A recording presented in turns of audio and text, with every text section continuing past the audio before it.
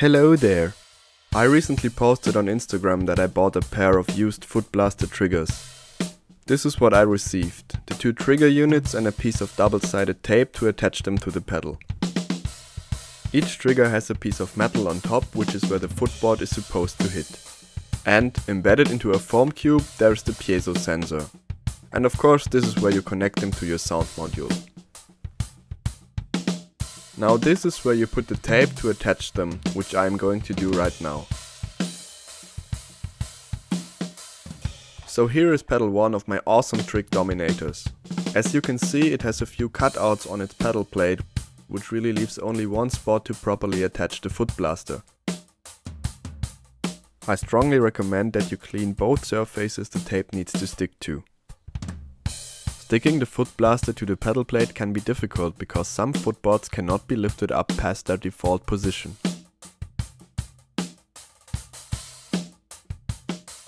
You can also see that I turned the cable jack to the front to avoid the cable getting caught between footboard and base plate.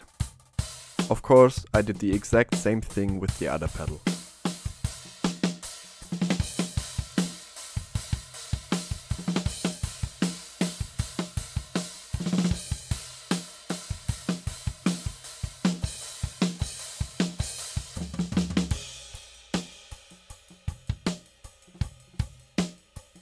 After the triggers are set up, you then need to adjust the height of the sensor by bending the piece of metal it is mounted on up or down.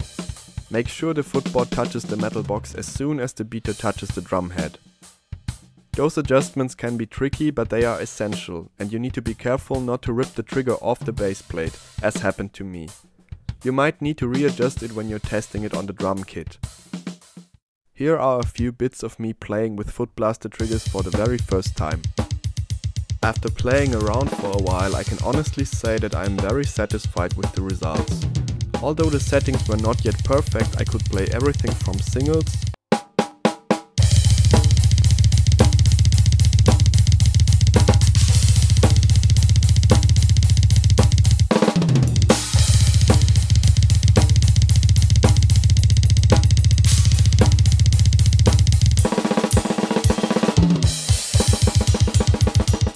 doubles.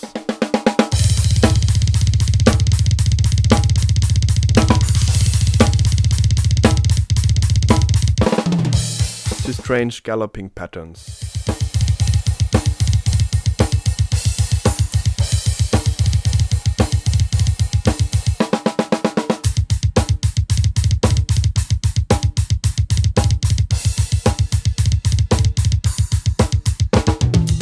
And the best thing? Finally, I have no more false triggering due to heavy rim shots or tom hits.